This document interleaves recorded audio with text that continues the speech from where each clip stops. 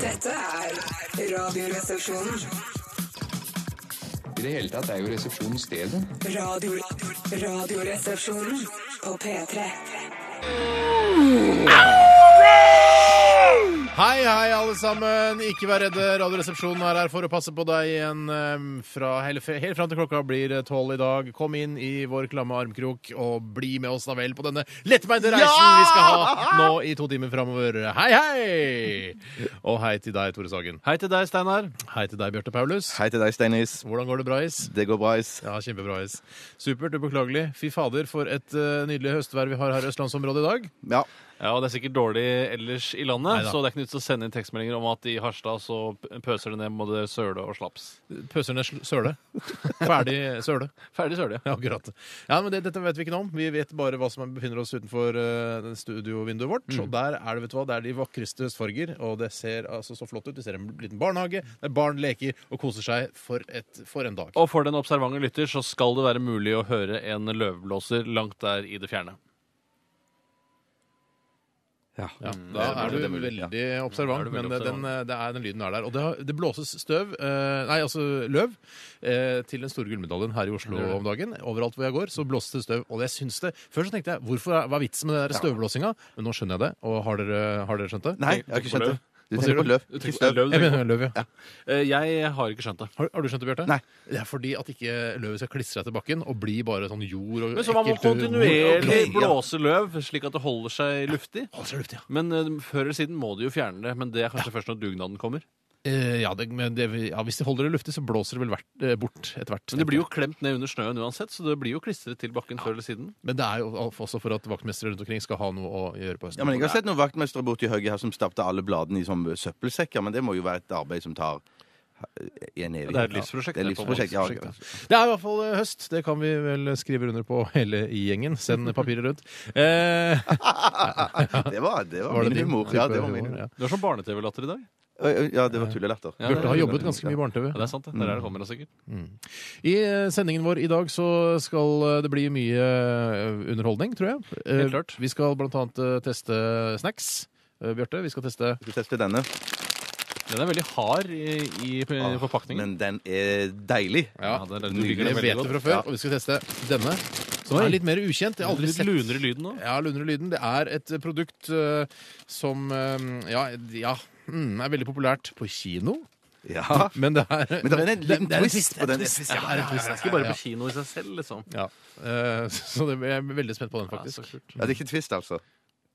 Men det Hvis man skulle Ja, nei, riktig. Nei, akkurat. Ja. Skjønner. Ja, nei, Det var gøy, det. Kjempegøy. Tusen takk. Det hevet eh, vel eh, ikke humoren i programmet, men det ble ikke dårligere heller. Jeg syns det var helt, eh, helt nøytralt. Flott. Ja. 1987, kodeord resepsjon, eller rr.krøllalfa.nrk.no hvis du har lyst til å bidra i vår Dilemmas-spalte i dag også.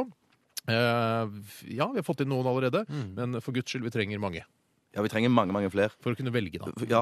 Og vi kan godt oppfordre jenter til å sende inn, eh, og vi kan godt oppfordre jenter også til å ikke sende inn penisdilemmaer. Dere i hvert fall, da. Mm. Så kan bare guttene gjøre det. Så oppfordrer vi også gutter til å ikke skaffe dere jentenavn for å få med tekstmeldinger i spluta, for det gjennomskuer vi så oh, utrolig lett. Vi har et apparat her som eh, finner ut av det, så det er ikke noe vits å prøve seg engang. Nei.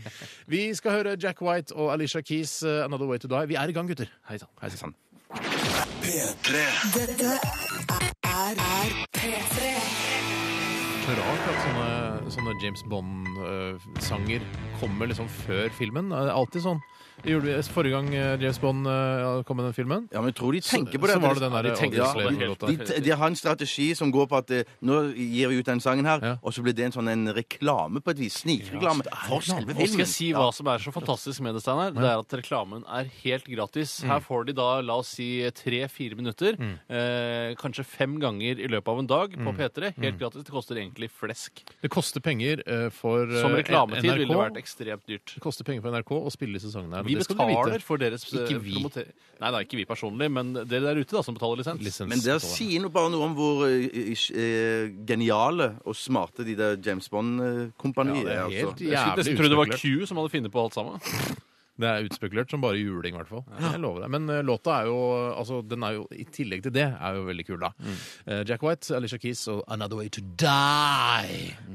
Det viser seg at været i Harstad er helt upåklagelig, har vi fått høre fra Ja. en eh, lytter her, og det er jo veldig godt. Ja.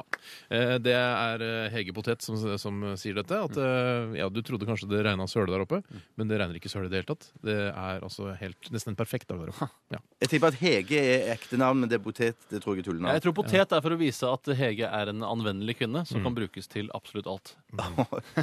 Ja. Ja, ja. Ja, nå tenk- ja, Nå, ja. ja, nå Nei, tenkte jeg nei, mitt. Nei, nei, nei. Ja, du du, tenker tenkte ditt. Ja. Du, er, du blir grovere og grovere. Det gamle eh, grisehuet ditt det er, blir bare grovere og grovere for hver dag som går. Og det, Ikke si gamle grisehud, Bjarte. Det syns jeg er, det er ja, det, overkant det var jo slemt. overkant slemt, ja. Ja. Det er ikke et grisehode. Nei, det er jo ikke det. det. Grisehjerne. inni Ja, det er det, ja. Grisehjerne akkurat, ja. Vi skal egentlig snakke litt om hva som har skjedd i løpet av, eh, av helgen. Og eh, Tore, kanskje du har lyst til å begynne i dag? Jeg kan godt fortelle litt om hva jeg har gjort. Jeg, jeg, jeg har vært på eh, restaurant to ganger.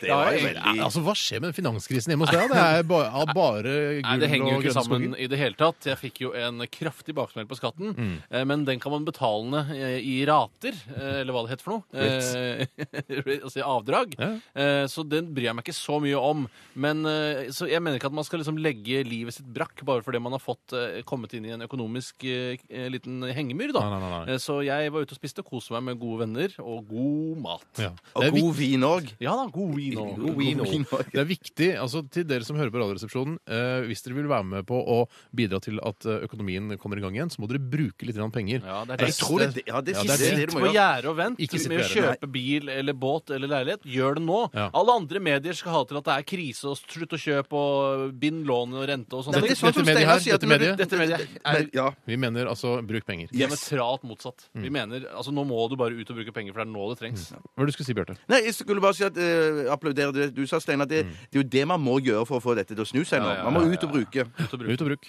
Um, ja, var det din historie? Ja, mer eller mindre var det det, altså. Bjarte, har du lyst til å dele litt uh, av ditt privatliv med lytterne? Jeg kan til to småting. Mm. Uh, det ene var at til kvelds i går så spiste jeg den der isen, den amerikanske isen som du spiste. Ben Jerry's? Nei, ja, med sånn, med sånn eh, kakedeig. Ah, kake- Kakedeig. ja. Ja, fy søren. Det må være Det var fantastisk godt. Ja. det må jo være noe av det mest Nei, det aller farligste du kan få i kroppen. Det bare, Det jeg er bare vel eh, syklon B som er det aller, ja, det, er, aller det, er aller, det nest farligste da. Ja. For jeg mener, det, Den deigen som var oppi der, den smakte jo helt fortreffelig. Men det var rå kakedeig. Kald oppi den iskremen der. Fantastisk smak. Så du mener smak. at uh, altså, hvis uh, Ben Jerry's er det nest farligste etter syklon B, så hvis uh, altså, nazistene da gikk tom for syklon B, så kunne de stappe Ben Jerry's i gasskammeret? ikke, ikke selve isen, men bare de, de deigklumpene der. For de tror det er farligst. Ja, de tror jeg er De livsfarlige. putter alle jødene inn på en lastebil, og så kaster de da Ben Jerry's inn gjennom Ja, det, det, nå, nå er vi i ferd med å dreie over i en humor som jeg ikke kan støtte, altså, Nei, men jeg syns det er litt småmorsomt. Det var bare fiffig tenkt. det var fiffig tenkt, ja. Mm. OK. Men så det andre jeg ville si, er bare at, at eh, NRK har funnet ut at de har, eh, det var lurt å installere en glassdør inn til vår redaksjon. Eh, for det, det var må, krise. det var krise for meg, Mm. fordi at jeg eh, Dette er første dag med ny glassdør på vårt kontor. Jeg spaserte rett inn i den glassdøren. Som så- en due i et panoramavindu. Søren. Smalt du nepa di rett i glassruta Det var, var bare så det skrangla i grisehjernen din. Fy søren, det var skikkelig vondt. Og jeg tror jeg vil få en blåveis i løpet av dagen. Du har ikke fått uh, grisehjernerystelse? Det, det føles faktisk litt sånn. Det føltes i hvert fall sånn idet jeg eh, hang fast i glassruta. var Og ikke sånn- Ikke, ikke sovne nå, Bjarte. Ikke sovne. Nå er ikke sånn at grisenesa di satt fast i vakuumet i glassveggen. Ikke si sånn, Tore. Det er så Det er ikke grisenese, det er ikke grise det er gris- det indre griset. Ja, det er den indre grisen i meg. Ja. Eh, litt eh, om hva jeg har gjort i weekenden også. Er det greit Ja. å ta med det også? Ja, herregud. I grisedebatten deres. Eh, jeg har sett eh, sju episoder av eh, andre sesong av Big Love. Og ha- hadde jo i utgangspunktet Jeg har alltid trodd at eh, polygami og det å ha flere koner og sånn må være en dans på roser og bare yeah, drive masse damer som flyr rundt omkring. Men det er- skaper jo også så mye problemer for denne k- hovedpersonen i Big Love. Er det en reklamefilm fra de monogames eh, forening? Vet du hva, Det kan nesten virke sånn. Altså, propagandaserie eh, altså for de monogame. Mm. Men tenk så det- kult det hadde vært for Bill Paxton hvis at dette hadde vært lov. Ikke sant? Da ville jo være da Ja, det har vært være- åpent da- bare 'sjekk meg!' Woo! Ja, ja, Tre ja, Tre bare grisefine koner og yeah.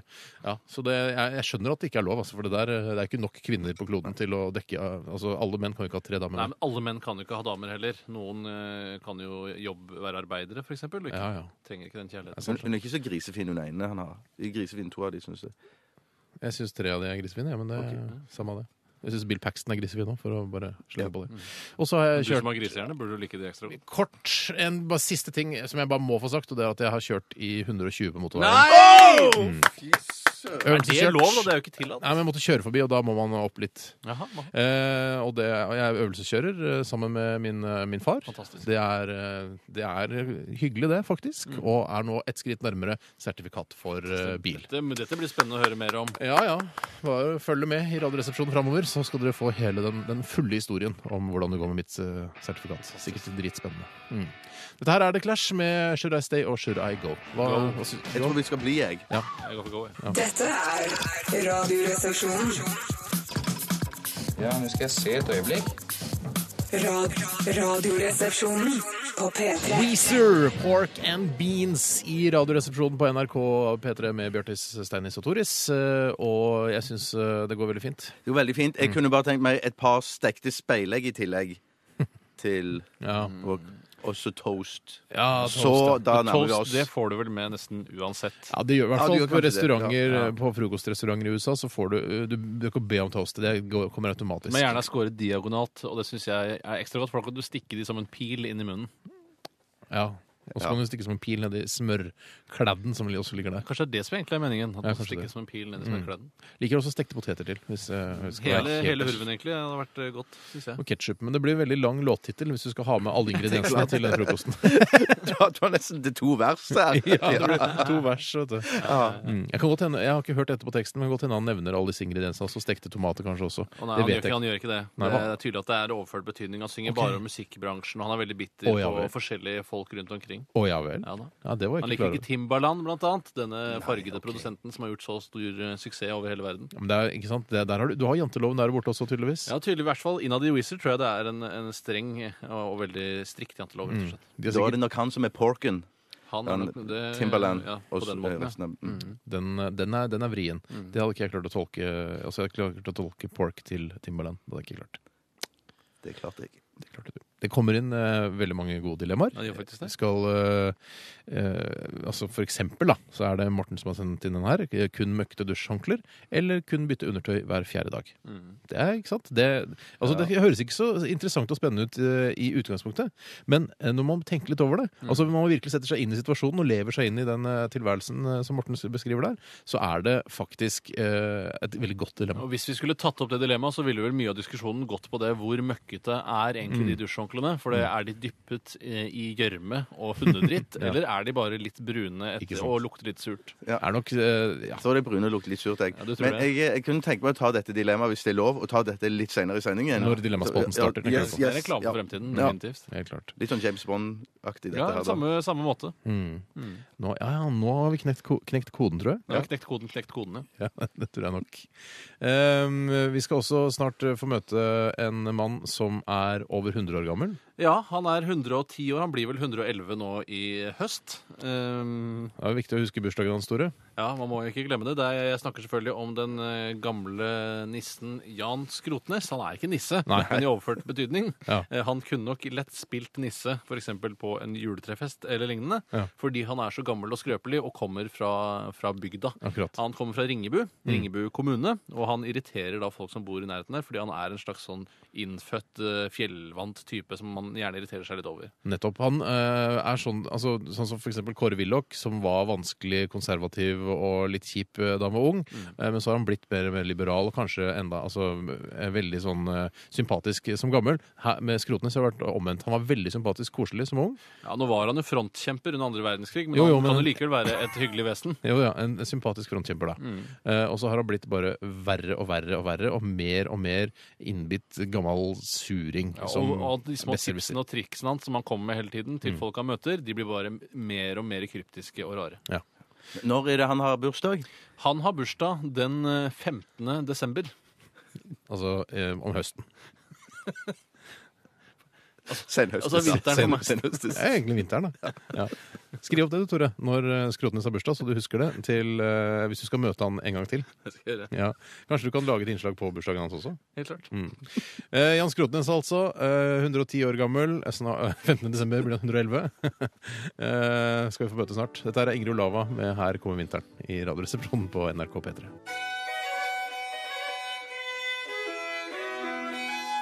Gatten ta nyfiska harr, laks eller aure kan brukes som kondensvæske på dieselmotorer.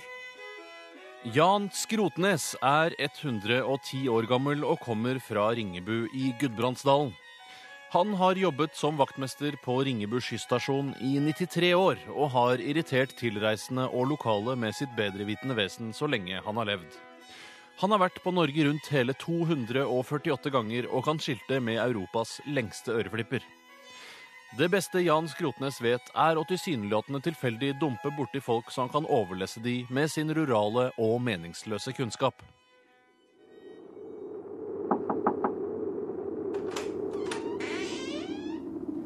Uh, hei, kan jeg hjelpe deg med noe? Jeg vandra just forbi og så at det ble lys i tau vinduet deres. Eh, ja vel. Jeg ville bare nevne at jeg ser at ytterbordet ligger i vann rett i på hytta deres. Vi bare leier den hytta for en helg, så det, det, det veit ikke jeg noe om. Jeg ville bare at dere skulle vite at den med vannrette bord, vinden til fra syd, månen er ny og ni får nedslag i pipa, så blir det ute med dere hele hurven hvis dere ikke fyrer med gamletyret. Å ja, altså vi fyrer bare med det som ligger i, i vedkassa her. Vi, vi, til herre, ja, ja. det blir gammel kukeik. Det vært livsfarlig. Er det sant? Jau. Lokalbefolkningen i Ringebu har etter mange år blitt vant til Jan Skrotnes og hans daglige innblanding i innbyggernes gjøren og laden. De tilreisende hytteturistene derimot har ikke den samme erfaringen med den irriterende gamle mannen, og blir ofte usikre når han tømmer seg for sine tilsynelatende oppkonstruerte sannheter om livet utenfor byen. Selv ikke kundene på G-sport kan føle seg trygge. Hei, eh, jobber du her? Egentlig ikke. Jeg har vært vaktmester nede på skysstasjonen, men jeg kan mye om det meste. Vært det skitur, ni ser ikke. Ja, jeg skulle hatt et par fjellski.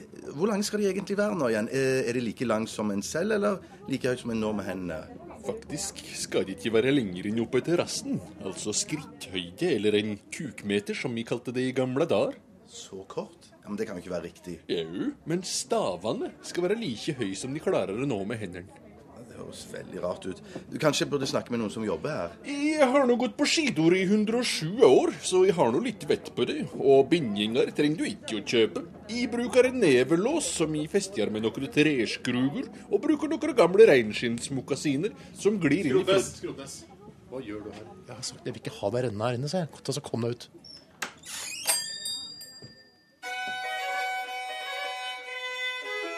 Flere av de fastboende i Ringebu har vært i tett dialog med medisinsk personell ved sykehuset Lillehammer om en endelig løsning på Jan Skrotnes-problemet, men har ikke kommet fram til et verdig og praktisk gjennomførbart dødshjelptilbud.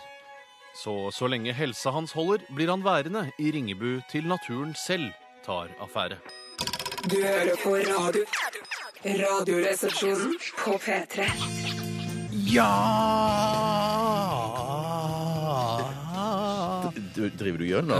Nå gjør du gjøn med Nei, seilen. nå fikk nei, jeg en nei. liten Jeg prøvde å gjøre sangen om mulig enda bedre enn det den allerede var. Ok. Eh, og dette var Simon med Metropolis. Selv om jeg personlig likte den eh, plata før Ja, riktig. bedre. Den med Dødeline. Dødeline eh, var en eh, Altså, det var en låt jeg hørte på mange ganger etter hverandre. Det var en av, en av legene deres, var det ikke det, som het Øderlein? Var det det, ja? Ja, da, det var ikke så veldig Det hørtes så dramatisk og skummelt og mørkt og overnaturlig ut når man hørte den, men så var det visst bare en koselig lege som de kjente til. Det var sånn de gjorde en, en, en kv- eh, Åssen var den teksten? da? Det var sånn En skygge til en kvist, Han, døderein han, han forandret en ting til noe annet. Eksempel, hvis du tar, i Døderen en høyttaler, så kommer det tilbake som en bokstøtte, f.eks. Det er jo en bokstøtte i utgangspunktet, da, men eh, som bare en bokstøtte. og ikke en de, men de, har jo, lager, jo, eh, de lager jo veldig kryptiske eh, tekster, og det, de kommer unna med det. Definitivt. Definitivt. Vi skal eh, kjøre Dilemmaspalten, vi, Bjarte. Yes, det blir kult. Hva vil du helst være? Ville du hatt det Herregud, for en søk problemstilling. Nei, fy faen. Faen, det er vanskelig, ass. Må jeg velge den ene? Dilemmas! Dilemmas! Dilemmas! Dilemmas! I Radioresepsjonen. Når man har eh, en live radiosending, så kan det skje helt, eh, helt sprø ting. eh, Og nå har det skjedd det at Tore har klemt fingeren sin i en fjær. Altså en sånn fjær som vi har til mikrofonstativene Ja, våre. det er akkurat som de gamle skrivebordslampene som ja. hang oppe nettopp pga. denne fjæren. Den er tatt av, for ellers så spretter mikrofonstativet rett opp. Putta jeg lillefingeren min inni det nederste hullet, og så spente jeg til. Ja. Og så visste jeg ikke helt hvordan jeg skulle komme meg ut av det igjen. Nei. Og det var meget smertefullt. Mens du samtidig Ja, er på, ja, på ja. radio. Og dette kan vi snakke om, for vi har såpass mye sendetid. Men vi skal eh, sette i gang med dilemmaer fra dere som har bidratt eh, på den fronten. Og kanskje du, Bjarte, har lyst til å begynne med et dilemma? Jeg kan begynne med et som kommer fra Kine, født naken og tannløs. ja.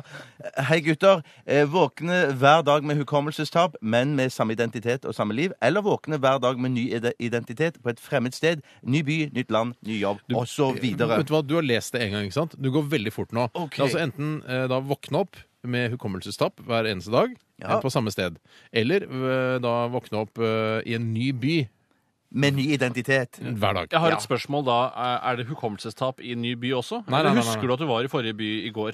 La oss si at du husker at du var i forrige by i går. Ja, For da er jo det fryktelig slitsomt. Eh, hvis man hadde glemt det hver dag, så hadde det liksom vært greit. Mm. Eh, samtidig ville man jo ikke fått tatt, tatt vare på alle de gode minnene man ville fått i de forskjellige byene. F.eks. da man var i Kuala Lumpur, så har man glemt det.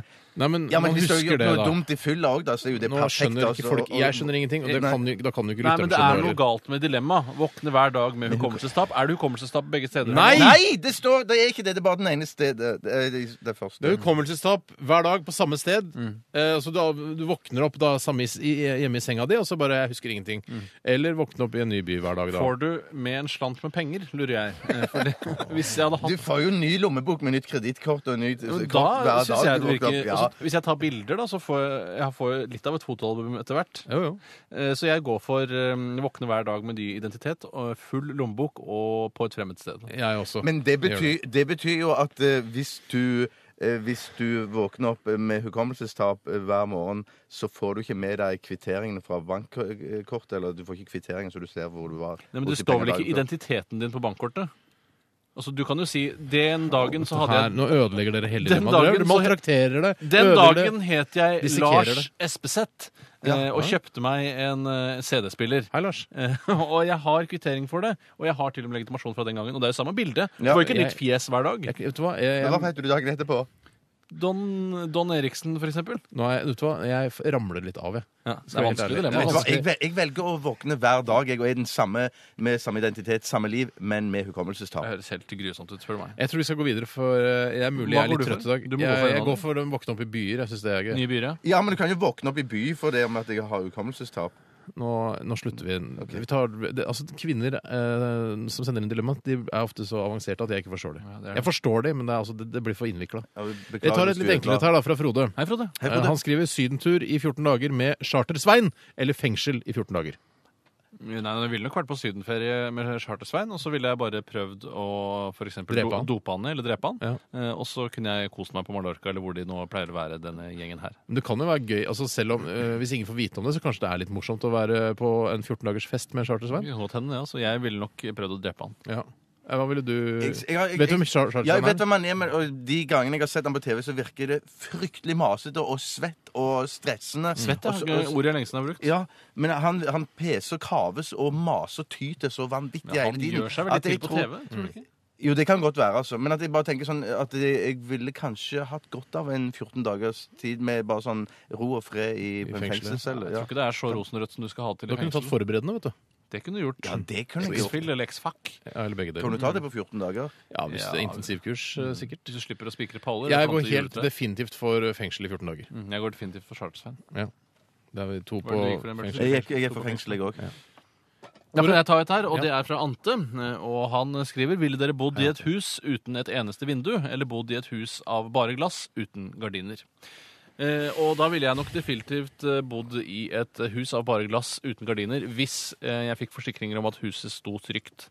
Eh, at det ikke bare er festet med silikon for eksempel, i kantene. Og Å, det er et skikkelig bygg. Ja, det er vi, ja. Ja, det må være pleksiglass ja, skikkelig tjukt det må være en forutsetning at dette skal være solid og kunne bo her resten Ja, ja. av livet. Vi kan ikke, ha, vi kan ikke flytte inn i et skrøpelig glasshus. Det nytter ikke. Nei, det går ikke. Altså, men eh, jeg, jeg, altså, jeg blir ikke så flau av å være naken inne i dette glasshuset at det vil bli et ordentlig problem. Nei, Så du, du, du setter pris på altså, lys og sol og at, uh, å kunne kikke ut osv.? Ja. Dessuten setter, så er det jo bare å ta en dyne rundt seg. Eh, Så, for dynene er jo ikke gjennomsiktige, selv om du bor i et glasshus. Nei, Kan det ikke ha. Det kan du godt sitere meg på. Det skal Kan du ikke ha frosta glass inn på, på, Ikke på frosta glass, det er ikke tillatt. Nå Da må det være et hus i bare frosta glass uten kan jo- gardiner. Jeg tenker det kan være, det kan være Ytterveggen kan være gjennomsiktig glass, men inne på selve badet på toalettet må jo ha frosta glass. altså. Nei! Nei, ikke du for- ødelegger dilemmaet! Ok, nei, jeg Du får kan jo ta dyna rundt deg på når du sitter på doa. Det går jo an. Det går vel an? Det går vel an? Det går Du an. kan ha på deg en poncho. Går også an. En dyneponcho. Jeg går for, jeg Det går skal for jeg, glass. finne, det skal jeg finne opp. Dyneponcho. Tre på glasshus. Jeg går på glasshus, jeg òg, da. Jeg går eh, for uten vinduer, men eh, allikevel skal jeg gå med dyneponcho. For som jeg har funnet opp nå. Fantastisk. Hørte at jeg har funnet opp dy- eh, dyneponcho? Jeg- jeg har lagt merke til ja. det. ja, Du tar en dyne, og så lager du høl øverst, syr og gjør det fint. Tror jeg lagde det før. jeg. Nei, det er ikke dyneponcho. Det er det nye nå. Dette, dette er P3. Hva vil du helst være? Ville du hatt det? Herregud, for en søk problemstilling. Nei, fy faen. Faen, det er vanskelig, ass. Må jeg velge den ene? Dilemmas! Dilemmas! Dilemmas! Dilemmas i Radioresepsjonen. Hei! Ja, vi hørte Hei, vi hørte Coldplay sammen med JC faktisk, eh, og Lost. Jeg vet ikke om JC rakk å bli med der. og Hørte dere noe Ja, jeg JC fikk Ja, være han, med på slutten Yes. der. Kult.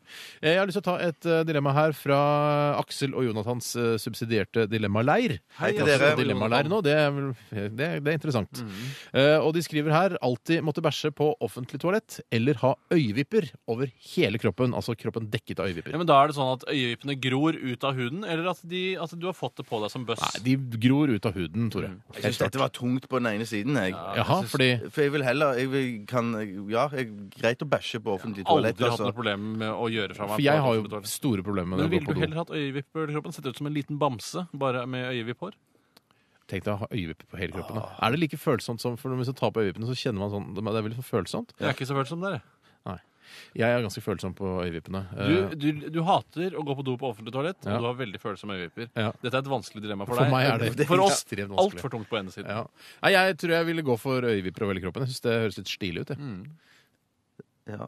Kan du dra over Da går det to, går to to- på offentlig to- toalett. Ja. Ja, helt klart. Jeg har et dilemma her som kommer fra Felix. Han er dilemmasnekker, født jomfru. Jaha. Dilemma. Være utrolig rik og ha bare falske venner, eller være fattig og ha bare ekte gode venner. Nei, Jeg går definitivt for å være utrolig rik og bare ha falske venner. For jeg mener Spiller en rolle? Nei, Det spiller en rolle så lenge de prøver å være venner. Mm. Så er de jo på en måte venner. Men hvis de- de baksnakker meg fryktelig idet jeg går ut av rommet, så Ja. er det litt slitsomt. Men jeg Men får ikke får du- høre det. Nei, det får mest ikke du sannsynlig. høre. Du får bare høre at du er så kul, Tore. Kjempebra, Tore. Ja, vi støtter er deg. Bli med støtter- deg Ja, på det er- curlingkamp når du måtte ønske det. Det er veldig sånn uh, flytende overgang. Det er altså mellom ekte venner og falske venner. Uh, altså i hvert fall har, har jeg det sånn at noen av vennene mine er falske, noen av mine vennene mine er ekte. Så jeg går for uh, falske venner og ustyrtelig rik. Ja, jeg òg. Helt klart. Det er nesten litt for tungt på ene siden, det òg. Ja.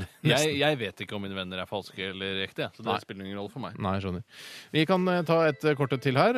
Um, ja, det er så kort som det blir. Ja, um, Det kan være greit å ha hentet de fram på forhånd. ja, det er en som heter Silkehest som skriver her. Aldri mer, aldri mer snacks og godteri, eller bare snacks og godteri og ingen annen føde. Null unntak.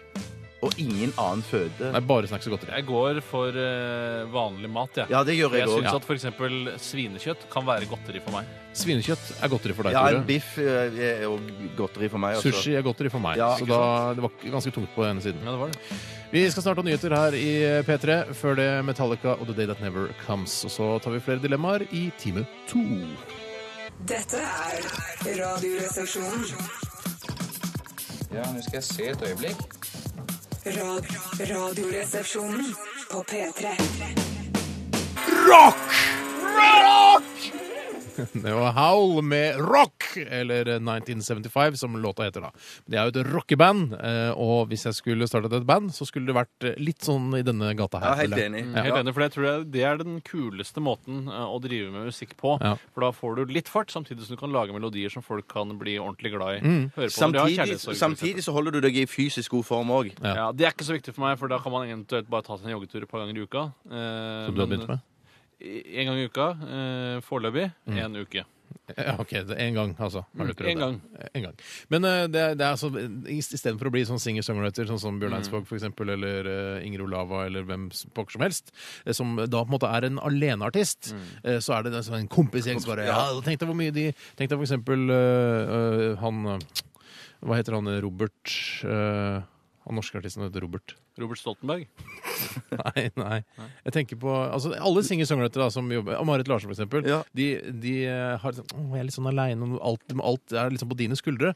Men så er du et helt band, så er det liksom, da er de sammen om det. Da er de fire-fem stykker. Men det som ofte er problemet når du er et stort band, eller i motsetning til å være en soloartist eh, Soloartister kan bli stemplet som eh, genier, Ja. mens band blir aldri stemplet som genier. Jeg gjør ikke det, nei. Fordi de er liksom en hel gjeng, og dessuten så kan det være mye kreative diskusjoner som du kommer tapende ut av. Men det som er fordelen med å være soloartist, er jo at da kan du jo plukke hvem du vil skal være med i, i ditt band. da. Hvis du har kredibilitet, selvfølgelig. Ja. Du kan ikke plukke de flotteste musikerne hvis ikke du har vist at du, du duger til noe. ikke sant? At du er et geni. Mm, det er sant, det. Det er veldig godt sagt. Og så hvis du er singer-songwriter, så tjener du alle penga sjæl. Ja, Det, ja, det er det er kanskje det Mm, aller er diggeste med det. Du så hvor mye penger Marit Larsen tjente i fjor. Det er jo helt Ja, men Bjørn Eidsvåg, herregud. Ja, ja, ja, men han er jo samme, alle samme stykket de, da. Jo, det er jo tallene av samme stykke. ja, Klart det. Eh, jeg har ikke må du passe deg så du ikke klemmer deg på fjæren, Tore. det- Nå legger jeg fra meg det. jeg har ikke sjekket hvor mye mm, Howl tjente i fjor. Det kan Men ikke, tror jeg ikke er all verden. Altså. Ikke Du må jo dele det- det på alle, vet du. ja ja. Eh, vi skal ha snackstesten i dag, den internasjonale sådan. Eh, og vi skal teste hvilke, Bjarte? Denne. Veldig vanlig på kino, men med en twist. Det er Ikke et visst. Og vi skal teste denne. Den er ikke så vanlig på kino. Nei, men slettes ikke uvanlig på kino. For den, jeg har, den har jeg Du vil si den er vanlig på kino? Ja, jeg, ja, men ikke så vanlig som den første. er ikke så eh, vanlig som med, den her. med, men med en twist. Men, men eh, jeg har spist denne flere ganger på kino. Men har- hvor mange ganger har du spist den her på kino? Ja, Skal mange jeg si en ganger. ting? Jeg har ganger aldri men spist den siste på kino. er det sant? Ikke den her? Jeg er ikke så glad i den siste. Åh, jeg, jeg, Jeg er ikke så glad i den første heller. jeg er spent på den twisten som det er på den eh, som har blitt spist på kino Ja, ofte. du vet det. Det er bare lytterne som ikke vet det. Nei, ok. Vi vet jo hva tvisten er. Prøv ikke klemme de flate. For de... Nei. Det er jo, ja. Hmm. Det er morsomt. Spennende. Veldig Eh, morsomt. Utrolig god underholdning. Det blir spennende å høre. ja. Du hører på Radioresepsjonen, og vi skal ta en runde til med dilemmas sendt inn av dere eh, som hører på programmet. Eh, hvis du har et nå i siste, liten, så send det til 1987 kodeord resepsjon. Koster tre, koster tre kroner. Eller send en e-post rrkrøllalfa.nrk.no. Dette er Noah and the Whale sammen med Laura Maling. Dette er Five Years Time. Hva vil du helst være? Ville du hatt det? Herregud, for en søk problemstilling. Nei, fy faen. Faen, det er vanskelig, ass. Det Må jeg velge den ene? Dilemmas! Dilemmas! Dilemmas! Dilemmas i Radioresepsjonen. Five Years Time eh, hørte du. Noah and the Whale sammen med Laura Marling. Det var en skikkelig koselig sang. Ja, jeg får inntrykk av at uh, verden går sakte, men sikkert fremover, og de aller fleste har det bra mm. når jeg hører den sangen. Ja, men sånn er det jo ikke nødvendigvis. Nei, de aller fleste har det vel helt grusomt, har jeg fått inntrykk av. Ja, det er, det er altså Mer enn halvparten av verdens befolkning har det litt grann jævlig. Ja, når du tar og leser avisene eh, hver dag, så blar i de, så bare sier det er jo bare dritt overalt. Ja, det er bare Ja. dritt. Tenk deg, det, vi, er, vi som klamrer oss til denne fjellknausen her oppe i nord, vi er veldig veldig heldige. Bare husk det, da. Ja. Vi, altså, vi har det godt. Ja, Ja, vi kan ha dårlige dager, men vi har det godt alt i alt. Alt i alt, ja. Har vi det godt. Husk det, da, folkens. Jeg, husker det. jeg skal ta et dilemma, hvis det er ønskelig, for det er det spalten vi er inne i. Det er ønskelig. Og det er fra Trine. Hun er født i forvirrelsens år. Er Trine en fine, eller? Eh, det vet jeg ikke, det står det ikke noe om. Jeg tipper Trine er en fine. Hun skriver 'skifte på sengen hver dag', eller kun én gang i året. Valgfritt når byttet eventuelt skal være, men det må gjøres på samme tid hvert år. For eksempel til jul. Ja. Det er jo digg med nytt sengetøy til jul, da. Men, Ja, det er litt digg. La oss bare ta Tenk deg hvor digg det er når du har gått et helt år i skittent sengetøy, og så skifter du og legger deg på lille julaften. Snakk om å glede seg til jul. Det, det, det, det, det, oi, det, dobbelt delen. Ja. Ja, Egentlig så burde man jo da gjort det f.eks. I, eh, i mars, eller noe sånt, hvor det ikke er noe sånn spesiell høytidsdag. For Eh, å skape sin egen høytid. ja. Skape sin egen høytid. Sengetøyskiftedagen. Men tenk til jul, da. Pynte treet, og så går du opp og skifter på sengen etterpå. Og så brenner du det gamle sengetøyet, for det vil du ikke vaske nå. Nei, æsj. For det er helt blankt av menneske, menneskefett. ja. talg og ja. midd og helvete. Eh, men altså, eh, det går jo an, sånn som vår far gjør, Tore, mm. at man dusjer på kvelden. Og så, at, og så legger man seg ren og fin, og så står man opp, og så er ikke sengetøyet nødvendigvis så skittent. Nei. Gjør han det for en Ja, Ja, han er smart- en eh, s- ganske Han har smart ikke fyr. tapt bak en låvedør, den mannen Nei, der. det Nei, er sikkert, altså. Det- sikkert. Men da, da For det, er jo veldig, det må jo være sagt, det skal være sagt som et argument mot å, å skifte hver dag, at det er veldig kjedelig. og Litt sånn knotete og rart å skifte sengetøy. Det er, det er liksom ikke noen enkel oppskrift. Og- Og for meg som har sånn varmeteppe med sånn termostat liksom oppi, helt oppi enden av sengen der, den faller jo ned på gulvet hver gang jeg gjør den det ja, du det er en sånn lang ledning som jeg da må trekke opp og ha opp på sengen, sånn at jeg rekker den når jeg ligger i sengen. Den detter jo ned på gulvet hver gang jeg skal skifte sengetøy. Nå var, du, dritt. nå var du veldig flink og selvironisk, for nå uh, bruker du det at du har varmeteppe i sengen din Ja. uh, som en sånn derre Ja, ja, det spiller ingen rolle. Jeg har varmeteppe, jeg er stolt av det. Ja, men- uh, jeg er en gammel mann, jeg er iskald. Eh, altså, jeg er kald og blå. Men derfor så trenger jeg varmeteppe. Det var kult at du gjorde det og var selvironisk. Tusen takk. Jeg tror jeg går for faktisk, selv om det krever at man må ha et lite lager med sengetøy, for man rekker jo ikke vaske og tørke alt i løpet av et døgn hvis man ikke har tørketrommel, og det har jo ikke jeg. Så jeg går altså for å skifte hver dag, eh, men ha et godt lager med sengetøy. Mm. Jeg tror også jeg går for det, eh, selv om eh, jeg også liker eh, å dusje om kvelden og så bare stå opp og bare ta på litt deo, og så er du klar, liksom. Mm. Det er jo på en Ta, måte fjerne litt sånn der øyekrokanen. Øyekrokanen må ut. Ja, det må ut. Jeg har ikke noe med sengetøy å gjøre. men du kan få krokan i, i sengen nå. Det har jeg ikke opplevd. Jeg går for å dusje på kvelden, jeg, og så skifter jeg en gang i året. Vet du hva, jeg skifter til det. Du skifter til. Vet du, Jeg skifter til å dusje om kvelden, og så skifte en gang i året. Vet du hva, jeg gjør det sjøl, det. Jeg gjør det selv. Men det må være lov hvis man kaster opp i senga. Det er lov Ja, å skifte. selvfølgelig. Ja, ja, ja, Da får du selvfølgelig dispensasjon. til å skifte. Selvfølgelig. Hvis du kaster opp 1. mars, og så vet du at du skal skifte da um, 30. april Ja. Ja, neste men du år. kaster opp, og så våkner du dagen etterpå, og så har du mista hukommelsen. Nå, ikke, bla, ikke, glam gamle, ikke, ikke lag humor ut av alt. nå blander du gamle dilemmaer inn i nye dilemmaer. Det kan, sånn kan vi ikke ha det. Det blir bare rot. Jeg skal ta et her fra Monica Klanik. Hei, Monica Klanik. Hei, Monica. Hun er 23, født i krampens år. Eh, og dette er ganske Eller kanskje litt tungt på ene siden, men det får være opp til hver enkelt av dere som hører på, til å, å avgjøre. Eh, hvis dere måtte velge en dødsstraff, ville du blitt hengt eller brent? Ja. Eh, ja Kjør debatt. Nei, jeg ville nok definitivt eh, blitt hengt. Mm. Eh, og da på en skikkelig måte, ikke på en sånn lurvete cowboymåte. At jeg f.eks. sitter oppå et, eh, et esel, Ja. og så prøver de å sparke det unna, sånn at jeg blir hengende igjen Mm. i en grein. Men jeg ville gjort det skikkelig. Eh, hatt en ordentlig bøddel, litt sånn som Iran, sånn at eh, nakken knekker umiddelbart. Ja, for det er det som er poenget. at du, hvis, Nå skal du henge skikkelig, så må det være at, du, at det, er sånn, det er såpass stor fart i kroppen din at eh, Jeg vil er ikke kveles. Nei, ikke sant? Nei, du vil knekke nakken. Knekke nakken umiddelbart. måte. Ja. Og Altså, det jeg, vil tror- også, ja. jeg, jeg tror også Hvis jeg skulle bli tenkt Jeg ville også invitert eh, folk jeg kjenner, altså venner og kjente, til å komme og se på, sånn som man gjorde i gamle dager. Ikke sant? Da var det, møttes jo folk på torget. 'Nå er det henging! Nå er det henging! Steinar skal henges! Sagen skal henges!' Og bare, juhu! Men da vil du invitere både de gode vennene og de overfladiske, de som bare later ja, som det vil jeg. Nå blander du gamle dilemmaer inn igjen, men Ja. det er greit. Jeg, vil synes også de, invitere alle. jeg ville invitert så mange som overhodet mulig. Mm. Altså Kanskje bare sendt ut noen løpesedler, eventuelt sluppet det fra fly, som var veldig populært eh, om sommeren eh, på 80-tallet. Det er i hvert fall populært i Andeby. Jeg har kjørt en, Det blander jeg hadde aldri med kjørt en sommeren. reklamekampanje, jeg også. p- Prøvd å komme Brukte inn resten av pengene dine på en ja, avisannonse, kom, for Og så kom jeg inn, fått et intervju på Grosvoll i ukeslutt eller noe sånt. Mm. Jeg henger meg på lørdag ettermiddag klokken 17.30. Ja. 17, altså når 1730 begynner, da. På. P4? Er det P4? Ja, P4. Ja. Eh, jeg, for det å bli brent, det tror jeg er veldig vondt. Men jeg tror det går ganske fort hvis det er- det er tilstrekkelig varmt nok og skikkelig fyr Men da vil jeg ikke jeg ligge vil brenne deg? Kaste deg selv i peisen. Ja, det er der altså, du brenne det, deg. er det, det er noe av poenget jeg mener som Bjarte har her. er At jeg vil ikke ligge i bålen når det blir tent. Jeg vil bli kastet inn i en Ja. allerede brennende bål. Ja. Altså, da mener, snakker jeg om en, en, en, en ovn, altså en skikkelig varm krematorieovn. Ja. Ja. Så det er ikke, man er ikke sånn det, man er på speidertur og bare kaster seg på bålet. Det, det er ikke bra nok. Nei, det må, ha et skikkelig, det må være lagd for å brenne opp mennesker. Ja.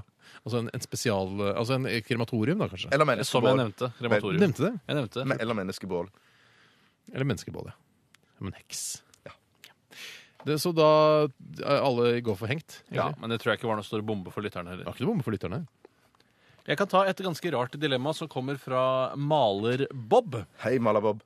Han skriver kun gå inn på homsebar og være heterofil, eller gå inn på strippeklubb og være homofil for resten av livet. Altså du går inn, inn, inn på homsebar eller inn på strippeklubb eh, hele tiden. Du får jo servert mat og sånn der inne, regner jeg med òg, da. Sånn at Alt, du overlever. livet ditt går som normalt, bortsett fra at du går inn på en homsebar eller en strippeklubb. Det er vel altså pubsnacks det er snakk om, og kanskje noe fritert kylling osv. ja, Chilinøtter, ja, ikke Du sant? må leve på chilinøtter, eh, enten da eh, på homsebar eller på strippebar. Mm. Eh, hva, men og hvis det, var det, måtte man være homo for å gå på en homsebarn? Det er eller? greia at Du må være hetero for å gå på homsebarn, og så må du være homo for å gå på da, regner jeg med, en, da, en kvinnestrippeklubb, og du er mann selv. Så eh, strippebar er eh, den heterofiles homsebar? Er, det er ikke, altså, det er ikke Nei, motsetninger? Det er, det er sant, ikke det. Da- et men du kan- antonym? Ja, nei, men Du kan ikke si, eh, gå inn, kun gå inn på homsebar og være heterofil, eller gå inn på en vanlig bar og være homofil resten av livet. For å gå inn på en vanlig bar er hyggelig også for Ja. homofile. Det kan være hyggelig for homofile å gå på en vanlig bar innimellom. Mens det er ikke så hyggelig for heterofile å gå på homsebar. Men eh, jeg vet ikke jeg hvor maten er best, om det er på homsebar Det tror jeg er på homsebar. Det tror ikke jeg, skjønner Det, du. tro- jo, det tror jeg. Eh, eh, Hvorfor tror du det? Jo, for der er Fordi de er feminine, flinke med mat osv. Ja. Gode til å koke Ja. kraft osv. god kraft. Ja, du regner med du får skikkelig middag der på sånn Jeg tror at stripperne er ganske gode til å lage mat òg, jeg. Det tror ikke jeg. det tror ikke Jeg Jeg tror de forsømmer de aller fleste pliktene sine, og det eneste de vil, er å vise frem kroppen sin. Nei, jeg, jeg går på Jeg går på homsebar, jeg. Jeg går på homsebar. Hvis Ja. vi må holde oss i strippeklubb, så går jeg, jeg går på strippeklubb, så kanskje jeg blir heterofil etter hvert. Nei, det kan du ikke bli. Hvorfor ikke? Det er ikke lov. Det er jo ikke, det er Det går ikke ikke an å være bifil, skriver Malibob, men det er ikke det samme. Går ikke an. Det er mange jeg kjenner flere bifile, jeg. Mm, jeg Det går an, det. kjenner en hel haug. Ok.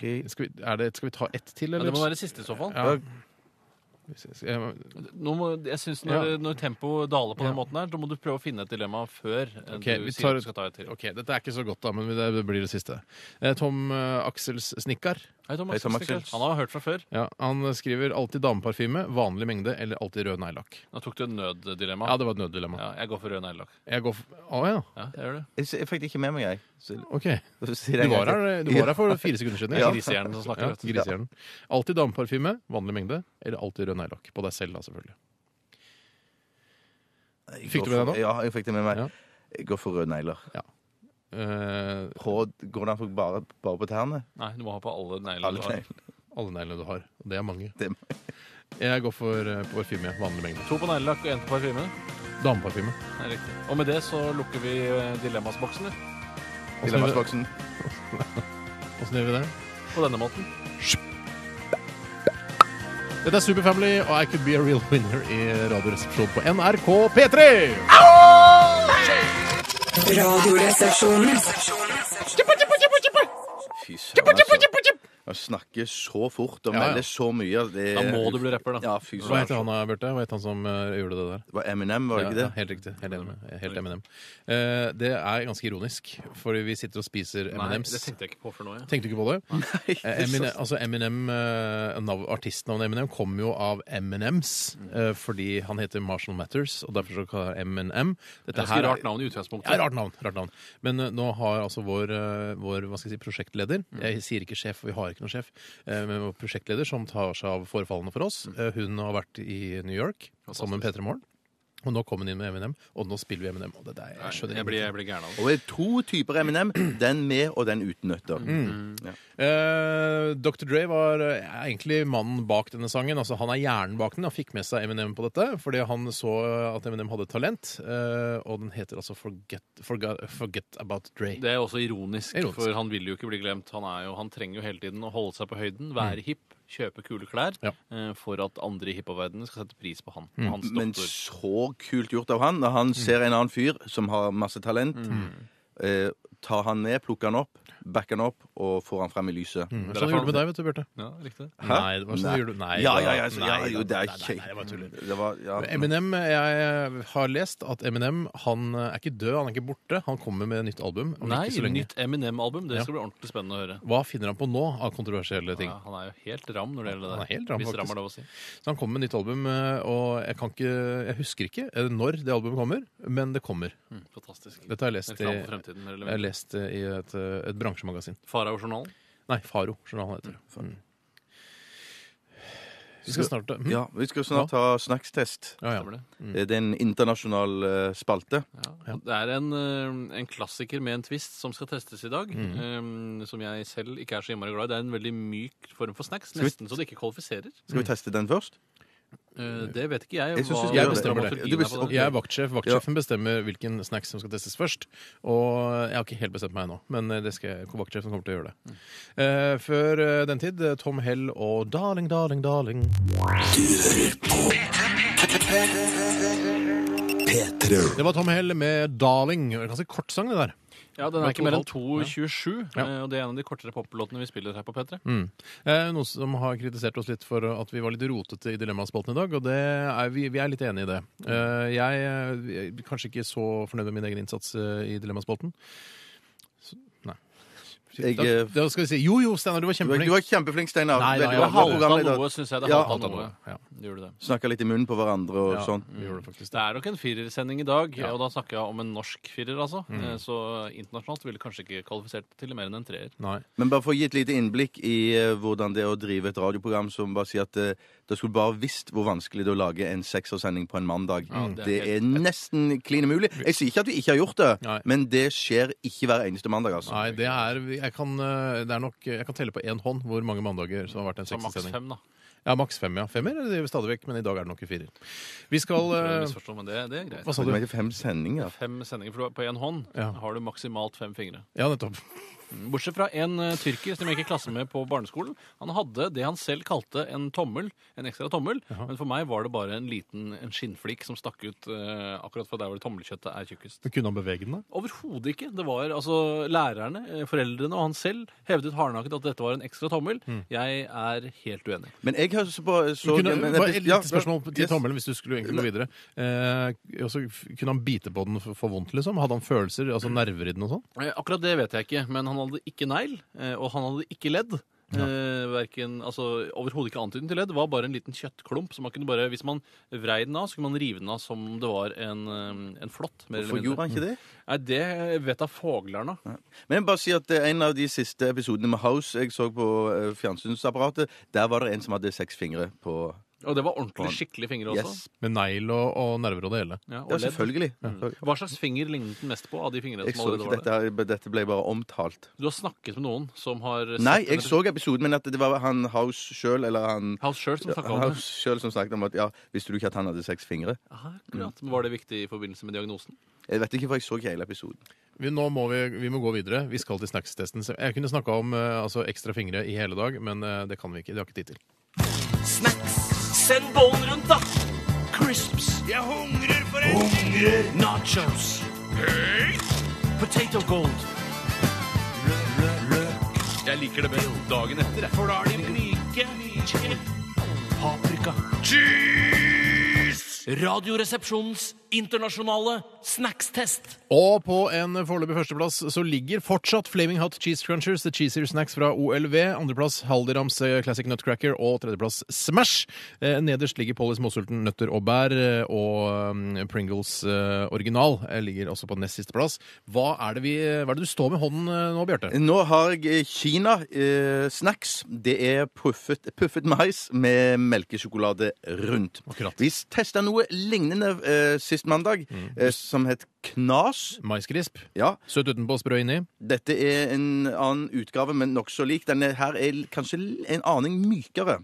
Og den kommer fra produsenten Faser. Fatso, som jeg hørte. hørt. Det heter. ok. da? Ja, tyskerne. Eh, Det er egentlig bare å begynne å kaste innpå. Eh, Vi skal eh, gi eh, antall r-er, altså en eh, mellom 1 og 100, og si hva vi syns om den.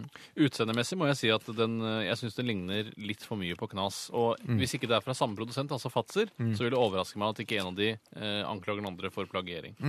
Ja, De er ikke fra samme produsent, det er to forskjellige. Eh, Nei, det er en anelse mykere. Ja, det det er en anelse mykere. Mens- Dette er en av det beste som fins. Mens Knas eh, ligner litt på eh, altså små bæsjeklumper, så ligner dette på lort. Hvis det går an å ha en sånn Dette er mer hare eh, Med enn elg, kanskje. De er veldig myke. Jeg syns kanskje at det, det inni, i konsistensmessig, minner noe om grillet kyllingskinn. eh, Som man pakker tett sammen og, og dypper det i mm, sjokolade. Jeg er ikke helt med på den, men eh, jeg, jeg, kanskje noen kjenner seg igjen der ute? Vi får jo håpe det. Jeg synes det eneste negative med denne her For dette er et av mine ø, absolutte Veldig favorittsnacks. forutinntatt. Ja, det er jeg. Men jeg må si, hvis jeg skal si noe negativt, så syns jeg kanskje det trekket med sjokolade rundt er litt for tjukt. Det er litt for mye sjokolade. Akkurat. De er ikke så veldig sprø inni heller. De gir inntrykk av å være veldig sprø på innsiden, men det syns jeg at det er tydelig at sjokoladen har, eh, har fuktet det indre noe. Fingerslikkefyllen? Ikke, Ikke noe, noe. særlig. Nei, Ikke noe ikke noe særlig. Skuff, Bare skuff. litt skuff. grann, eh, sjokoladerester. Ja. Kjenner ikke noe særlig Blir veldig smak. mett og kvalm. Synes det er litt ekkelt, det. Det er litt ekkelt, ja. Det er Akkurat som jeg sa om knas også. Det er litt sånn, Man føler at det er veldig veldig usunt. Litt nødrasjon, altså. Eh, som jeg bare spiser hvis eh, jeg Ja, hvis Ja, men Det er minner faktisk bitte lite grann om noen nødrasjon hvis du er ute på tur. eller noe sånt, så minner litt sånn, ø, om sånne knøttsmå utgaver av Kvikk Lunsj. Ja, så Kvikk Lunsj er en nødrasjon? Ja, jeg trodde det. det var sånn trodde tursjokolade. Jeg trodde, Jeg trodde det bare var ment som godteri. Altså det som var bedre enn mat. Da. For godteri skal jo være bedre enn mat. Men hvorfor heter det Kina? Det er veldig rart. Nei, men Det tror jeg bare er en gimmick en gimmick, for å få inntrykk av at dette er, eh, kommer langveisfra. Ja. Slik at det blir mer eksklusivt for oss nordmenn. det er ikke King Kong-mat, i hvert fall. Det er helt Det smaker ikke Ching Chong i det hele tatt. Kom igjen, Bjarte. Gi, en, eh, gi antall r-er. 100. Nei, nå Jeg tuller ikke. Ok, Ja, s- bra. Men det er, hvis du er, ok, dette er det optimale, men du syns allikevel at det er litt for mye sjokolade. Ja. Du kunne ikke gitt 99, da. Nei. Nei. ok. Du sa du ville trekke for det også. Ja, Nei, jeg så- tror ikke ville vil trekke jeg, hvis, hvis jeg måtte. Hvis du måtte, ja, men det må du jo ikke. Nei. Det bestemmer du sjøl. Tore, Nei, jeg gir eh, 65, jeg. du er ganske bra det, da, til å være ganske misfornøyd med, med snackset. Ja, absolutt. Men du syns dette var bedre enn knas? Jeg syns det er bedre enn knas. Jeg gjør faktisk det, men jeg blir eh, fryktelig kvalm. Eh, skulle tro jeg var premenstruell, så kvalm er jeg etter å ha spist dette. Ja, jeg eh, gir eh, 66, jeg. 66, ja. Eh, og det skal Kommer jeg ganske høyt opp der. Ja, det går faktisk ganske høyt opp. men jeg syns 100 det var Ja, det var mye. altså. Vi, vi skal regne litt på det. Eller jeg, Jeg skal gi skal regne 100 litt på til det. mitt favorittsnacks også. det er ikke Ja, tvil. det er ikke noe tvil om det. Men det er lov, det. altså. Det. Ja, ja. Vi skal høre Placebo med null skattesnylterne, og så skal jeg regne ut på kalkulatoren på PC-en min og hvor uh, denne plasserer seg da på lista. Så skal vi teste en, uh, en spennende en klassiker med en twist. Etter, etter det. det, det, det. Snacks. Send bollen rundt, da. Crisps. Jeg hungrer for en Hungrer. Nachos. Potato Gold. Jeg liker det best dagen etter. For da er de myke. Chicken. Paprika. Cheese! Radioresepsjonens internasjonale snackstest. Hva hva skjedde, Tore? Tore egentlig juksa han. Ja, juksa. Han Det som har skjedd, er at jeg har spist popkorn. Oi, oi, oi! Og så fikk jeg den blanke delen som er på innsida. Jeg satt fast i ganen min. I vra- vrangstrupen? Ikke vrangstrupen. Nei, nei, nei. I den bløte delen bak. Akkurat bløtedel, ja. Hvorfor, en annen stemme? Hvorfor får man en annen stemme, liksom? Skjønner ikke jeg. Det er rart. Eh, bare eh, rette litt opp. Jeg sa selvfølgelig så feilaktig som det kunne ha forblitt, at eh, Fatser er et tysk selskap. Eh, Det er eh, faktisk et av Finlands aller største matvareselskaper. Hmm. kan bare få ta med også at det er en lytter som sier at eh, Kina er aller best når de serveres iskalde, og jeg kan skru under på det. Det er et kan vi ikke ta høyde for, for da må vi servere alle snacks iskalde. Og Ja. da, hvis ikke så blir det urettferdig. Ok. Tror du de har eh, i, i, I Kina så har de en eh, Nei, nå skal jeg Jo, kom jeg kom, dette er Norge, stand-up, så har de, stand-up nei, nei, så har de en som heter eh, Finland, liksom. Etter snacks heter Finland. Ja. Unnskyld, jeg beklager det. Jeg kan fortelle så mye som at vi skal teste en snacks som heter popkorn. Men det er ikke et hvilket som helst popkorn. Det er fra Estrella. Og det heter Indian Popcorn Cheddar. Men er det eh, Estrella er det et eh, indisk eh, selskap, eller åssen er dette? Nå er Ikke vi så ute vidt på jeg glattisen kan igjen. eh, forstå. Det er sendt inn fra Håkon Påkon fra Molde. Håkon Og han har kjøpt Estrella Indian Popcorn Cheddar i Østersund i Sverige. Akkurat. Så jeg tror nok ikke i utgangspunktet at det er fra, fra India. Det står ikke noe made in-greier. Made in-greier. Det står Craft Foods, altså. Som Ja, vanlig. ikke sant. Ja, De står bak det aller meste. Men eh, det er bare å kaste innpå, gutter. Ja, jeg det er har altså prøvd popkorn med en twist, altså cheddarsmak, da. Gule popkorn. Jeg må si jeg Stor fan av popkorn i utgangspunktet. Men mm, jeg er ikke det. Jeg er kjempefan av popkorn i utgangspunktet. Du gir vel denne 100 år, da? sikkert? Ja, men det er ikke langt, langt fram. Men jeg tror dette er Mm. kjempegodt. Det er en litt skarpere utgave av popkorn. Å. Um, så det er bare sånn uvant å ha popkorn, eller se popkorn og smake på popkorn, og så smaker det sånn som det gjør. Kanskje du skal slappe av litt? Jeg syns dette var kjempegodt. Ja, dette Ja, det var veldig, veldig godt. popcorn. Men jeg vet ikke om jeg syns det er bedre enn vanlig popkorn. Jeg vet ikke om jeg syns det smaker cheddar av det. Nei. Altså, sånn som jeg husker cheddar eh, fra sist gang jeg spiste det, så er det er ikke det, den assosi- assosiasjonen jeg får. Dette er mer sånn salt eh, og fiffig smak. Jeg syns det er bedre enn vanlig popkorn. Ja vel? Ja, det syns jeg òg. Mer forseggjort. Enig. Det er liksom foredlet den mer, da. Istedenfor bare å kaste salt på den, så er det liksom Hei, hva kan vi gjøre? Kan vi finne på noe mer med det popkornet? Ja, Jeg syns det var ja. godt. Ja. Det smaker kanskje litt um, Jeg syns jo det å kjøpe popkorn i en sånn ferdig pose i butikken er litt grann trist. Ja. For jeg syns at popkorn skal være sånn ferskt, gjerne fra en sånn popkornmaskin. Det er liksom sjarmen med hele godteriet. Så jeg må trekke for det. Men jeg legger til fordi det var så godt, i motsetning til noe jeg egentlig ikke liker. Men som popkornkjenner så må jeg bare si at det er veldig forskjell på de forskjellige kjøpepopkornene, de forskjellige produsentene. Det er, eh, det er noen som er flinkere enn andre, altså. Er det det, du? Ja, helt klart. Takk for visdomsord fra deg, Tjøstheim. Bare hyggelig. Eh, Ja, den er, Ja, den er jo veldig bra. optimal. Den er helt perfekt. Ja, den er fin. Kanskje noe av det beste med det. Mm. Vet du hva, Jeg gir eh, Estrella Indian Popcorn Cheddar Ja. Jeg gir den 70 jeg. Oi sann. Det er ganske bra ikke- til å være deg, Tore, som er så negativ til vanlig. Jeg vil mye mer, jeg. Jeg, jeg, jeg, vil, gi, jeg vil gi 89, jeg. Slapp av. Kan du slappe av litt? Du er veldig gira i dag. Ja, OK. 89. Så bra. Er du så, Syns du det er så godt? Popkorn er jo det beste som fins. Jeg trodde du var ostepopmann. jeg. Ja, men det syns jeg òg. Kinamann, ostepopmann. Er du alt mulig Nei, mann? de du? tre, de Kinamann tre er tingene. Nå er vi Ja. Jeg eh, gir 60, jeg, for å ikke ta helt av her. Er problemer, det. Ja. Eh, Jeg tror eh, Jeg skal regne ut, selvfølgelig, som jeg alltid gjør. Og så skal vi finne ut av eh, hvor den plasserer seg på lista. Jeg kan fortelle, by the way, at Kinasnacks fra Fatser, den finske produsenten, havnet på en femteplass bak Kims det er Snack. Chips. Det er bra. Ekstra Spø Snacks. Og ja, den fikk altså 77 r-er til sammen. Ufortjent. Vi skal høre FF med Kent og Nancy Danino. Dette er Radioresepsjonen. Du hører på radio. Radioresepsjonen på P3. FF. Det var Kent sammen med Nancy Danino, som eh, enten er fransk eller som behersker det franske språk på eh, altså veldig bra. Eh, og jeg lurer på om det er første gang jeg har hørt et eh, fransk-svensk samarbeidsprosjekt i, altså da, i en, en sang. Jeg, jeg tror ikke jeg har hørt det før. Nei. Det er ganske spesielt. Men hva det FF står for? Eh, Fast forward, står det er for. det det det står for, ja? Det må jo være det. Jeg kan ikke skjønne annet. Ja, Eh, nei. Det kan være Forte Fortissimo òg. Ja, det er sant, det. Hva betyr det? Jeg tror det, Når du får det på notene, så skal du spille Da går det ekstra unna, for å si sterkt. sånn. og- Sterkt, ikke fort. Og det er altså. sterkt, da. Ikke Ja, nei, jeg ble i tvil. Kjappissimo, Rev betyr, eh, rev betyr rewind, er altså riktig. bakover, og FF betyr forover. Eh, det, er vanskelig, det er vanskelig å tolke tekstene til Kent. De er såpass eh, Det var det, altså. smarte. at Tenk at de- rev kan bety to forskjellige ting. Ja. Det kan bety enten at du er revet til, eller at du spoler bakover. Ja. Hvis du har sånn type humor, da. Ja, det går an, det går an å ha sånn type humor. gøyalt. Mange som støtter den type humor. Det er alltid en og annen som syns det er morsomt. Mm. Jeg, jeg tror også at hun Nancy Danino høres ut som et skikkelig støkke. Altså skikkelig Hun er sikkert veldig deilig. Ja, hun jeg tror jeg er deilig. Eh, I hvert fall så gir hun inntrykk av det når hun sier sånn kan jo Ja, det, være en vekker, det vekker noe i meg, det. Ja. Når de synger på den måten der. Hva vekker det i deg? Sexdriften? Er det det som Ja, eller bare som en, min begeistring overfor, øh, overfor henne, ja. Seksuell begeistring. Nei, jeg vil ikke gå så langt, men jeg blir interessert da, for å sjekke ut mer. Mm. Gå inn på internett, lese bøker, finne ut hvem er denne Disse Lese bøker om henne, er det av henne? Hvis hun er forfatter? da? Ja, begge deler høres jo Se spennende på ut. bilder. Se på bilder. Vi eh, kan eh, avsløre at Indian Popcorn Cheddar eh, fra Estrella eh, har fått 73 r-er og havnet altså bak Kinasnacks uh, fra Fatser. Eh, så her eh, har altså eh, Finland stukket av med seieren, i hvert fall i dag.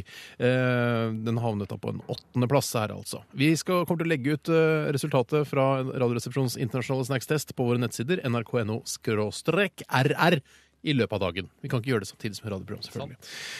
Vi skal stikke fingrene inn i sjokkmaskinen. Den eh, velger ut en tilfeldig resepsjonist. Den eh, tilfeldige resepsjonisten blir skutt med softgun MP5. Så enkelt er det. Du trakk deg forrige gang, sa du?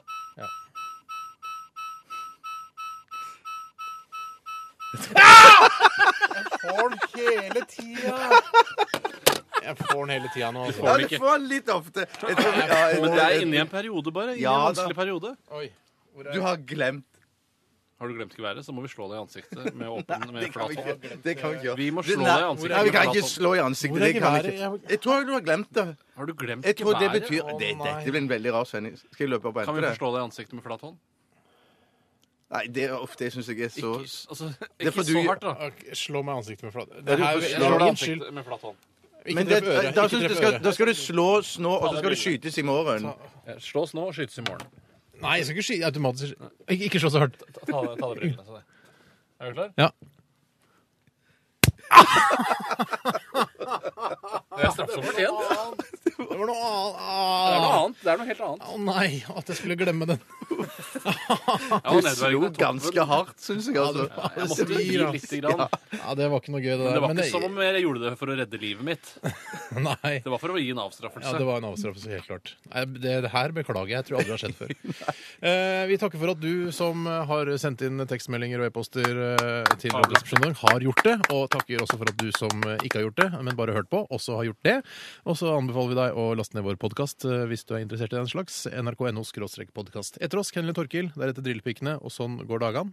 Ha det bra. Det er ikke lov å si, tror jeg. Nei, unnskyld. Ha det. Ha det. Ha det bra. Dette er Radioresepsjonen. I det hele tatt er jo resepsjonen stedet. Radio, radioresepsjonen på P3.